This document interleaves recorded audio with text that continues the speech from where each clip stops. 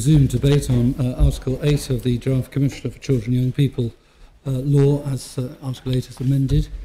Does any other member wish to speak? Uh, Deputy Higgins. Thank you, sir. This particular law, to my mind, is one of the most important ones that we're having to bring to the Assembly.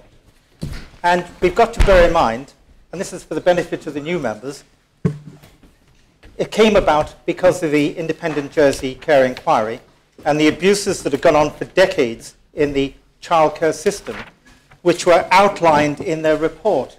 And for those who haven't seen it, this is it.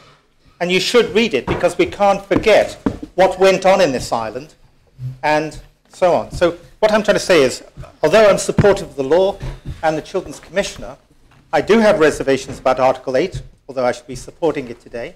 My reason for that is that I believe the Commissioner is going to have full powers. And the reason why is we cannot allow abuse to go on again. And equally, there are many issues that still need to be addressed from this care inquiry report. Now, I know our current Attorney General is an honourable man, and I hope that he'll follow the uh, protocol and so on. But in the past, as evidenced in the care inquiry report, one previous Attorney General did not report child abuse, and in fact helped, well, I say helped, uh, went to the Director of Education and asked him to deal with a youth worker who was abusing boys. Didn't go to the police, and yet this is the Attorney General. He should have drawn the matter to the attention of the police. His argument was that it should not. Um, it did not want to involve the police because the person concerned did not want the police involved. I raise this because as the chief law officer, effectively, it should have been referred to the police because that particular person, although he was removed from Jersey, went on to abuse other boys. And had the police been involved, that may not have happened. Deputy, so, I'm sorry to interrupt you. Would, would, would you like just to reflect on what you've just said? Yes, sir. Uh, because this is a, a, make it clear it's not me as uh, the previous Attorney General.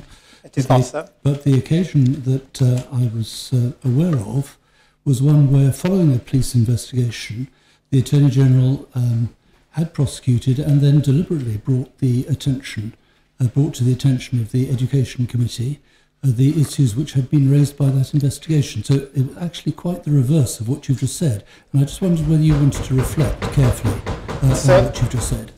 In fact, in that case, yes, I, I will actually give a bit more information. In fact, I'll quote from the Care Inquiry Report, page, I think it's 29, uh, paragraph 113. And this is the Director of Education of the island at the time, John Rodhouse. He said, I cite these examples to show that when I've been made aware of allegations of abuse or inappropriate behavior, I've taken such reports very seriously and taken action. There was, however, one instance about which I feel very uncomfortable. It concerned a volunteer youth worker, and he says, the then Attorney General, Philip Bailhache, called me to tell me that a named volunteer youth worker had acted improperly with a boy the boy's father was, and it's redacted, and did not want to involve the police. Philip Bailhache wanted me to investigate and take action. I protested that it was a matter for the police, but Philip Bailhache said that the parents would not cooperate and that if I did not act, nothing would happen. I interviewed the man who admitted the offence, and with the help of the youth officer, the man was effectively removed from all youth work in Jersey. As far as I was concerned, I was caught between the legal authority of the island in the person of the Attorney General and what I believed to be my professional and moral duty. I have since learned that the man was some time later convicted of a similar offence and subsequently faced a further charge. Uh, Deputy, I'm sorry to have interrupted you. I'm glad, glad you uh, clarified that. There are numbers of previous Attorney General, and it's right that you should have done. Yes, thank you, sir.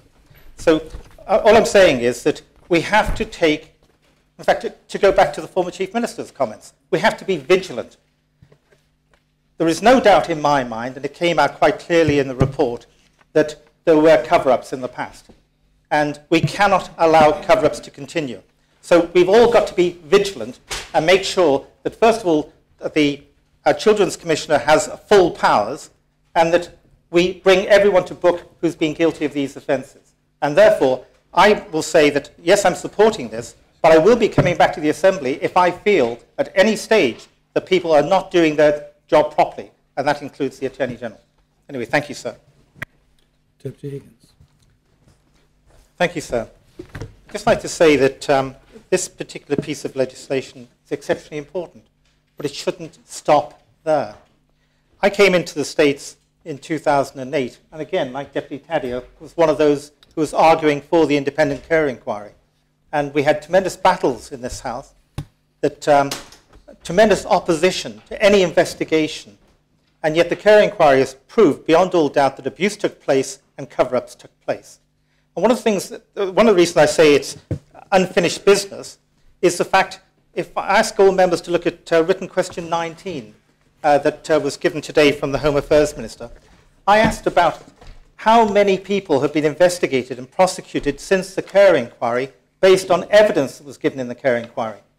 Now, there was um, a number of people, and uh, there were allegations of a person being a serial rapist. There was another one where at least 12 people talked about a person committing sodomy and rape. Uh, there was another person who was referred to as the pinball wizard. And I attended many of the sessions of the care inquiry, and there was sufficient information given out there that those people should have been pursued. And I find it scandalous that, for example, the pinball wizard when even members of staff of the institution concerned confirmed what the children said, that they'd been bounced off the walls of the office. This is absolutely outrageous, and we will never put this matter behind us and get the support of the people who have been abused unless we address these issues and bring these people to book. So I ask members, please support measures going forward. Let's make sure we deal with this once and for all, and no one is above the law, and there are certain people who have been and appear to be protected, and they should not be. Thank you, sir.